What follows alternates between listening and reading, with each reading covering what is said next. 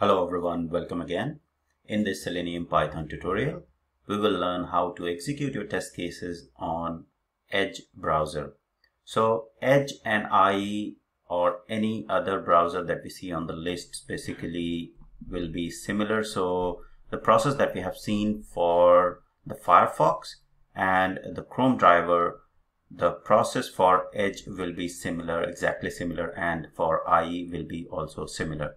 So I'll explain you about the Edge browser and then I'll briefly touch base on the Internet Explorer. So in this video, we'll learn how you can execute your test cases either in Internet Explorer or Edge browser using Selenium Python. So in order to go ahead and run your test cases on Edge browser as we have done for Chrome and Firefox, we need to do the same thing. So we need to download the browser driver for Edge and Microsoft is implementing and maintaining this Microsoft Edge WebDriver. So we'll go to the documentation and download the compatible version of the Edge driver, right? So before that, you need to check what Edge version you have. So to check the Edge version, I'll simply go to the three ellipses here and go to help and feedback and we'll go to about Microsoft Edge.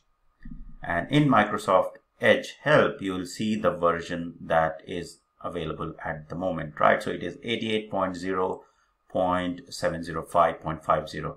So we'll go back to these Edge drivers and we'll download this one. So this is our version 88.0.705.50 and you have to also check which version is it. It's, it's 64 bit, right? So we'll download the 64 bit. So we'll simply click on 64 bit and it will start the edge driver 64 bit. Once it downloaded, we'll click show in folder and I'll do the same thing. I'll copy it in the C browser drivers folder and here I will paste that particular file. Okay, so I'll paste it here and I'll extract the contents of Edge driver here.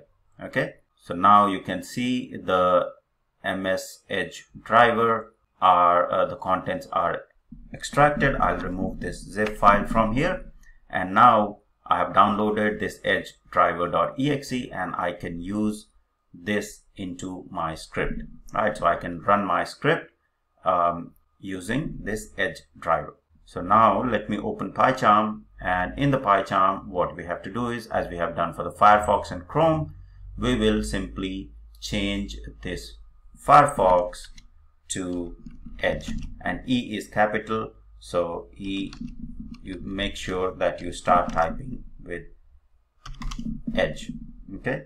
Uh, if you want auto suggestions to appear then simply press dot and press uh, start with E and press control spacebar and the auto suggestions will appear right?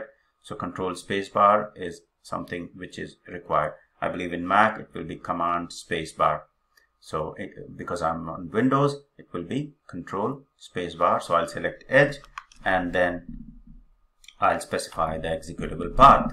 So what is the path? So path is the path where I have placed the edge driver right? So it is in the browser drivers. Start typing browser drivers to backslash and then ms edge driver dot exe. All right so i think that's pretty much it. So let's check the name. It has to match exact name. So ms edge driver dot exe that's correct.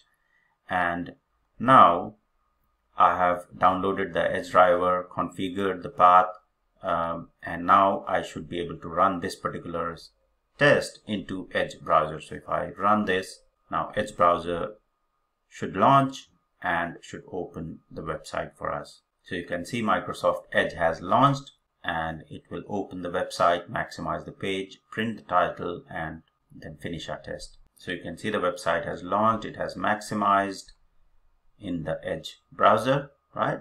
So I'll minimize this and you can see that the title has been printed and we are able to run our test in the Edge browser, right?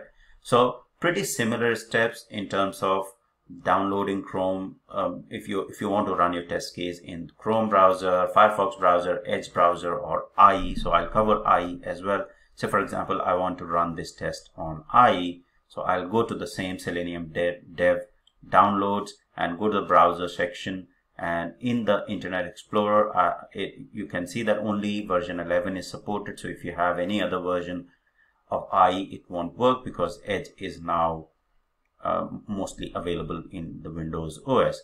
So for IE, we'll go to the configuration, check the version of the IE you have, and then you can download the executable IE driver server and follow this link and download the IE driver, say for example 2.39 and depending on what version of Windows you have, so you can select 32-bit and 64-bit accordingly download this driver and place it in the location where we have placed the others right? So uh, i mean whatever location you want to choose you are the only thing you have to make sure is in the executable path when you are specifying the IE you have to do dot capital I and then control spacebar and select this IE okay and then specify the executable path of the IE driver file that you have